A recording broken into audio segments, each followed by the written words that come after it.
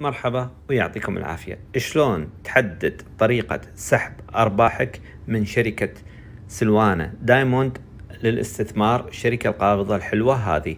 أول شيء تفتح الموقع تدخل على حسابك على user name وال password مالك. بعد ما تدخل عليهم تضغط على البرغي اللي فوق هذا تدوس عليه راح يعطيك الخيارات الأربعة. هذه تدخل على آخر خيار تضغط عليه راح يعطيك profile وراح يعطيك setting تضغط على ال profile. بعد ما تضغط على ال profile راح يعطيك خيارات تنزل فيها ليه تحت.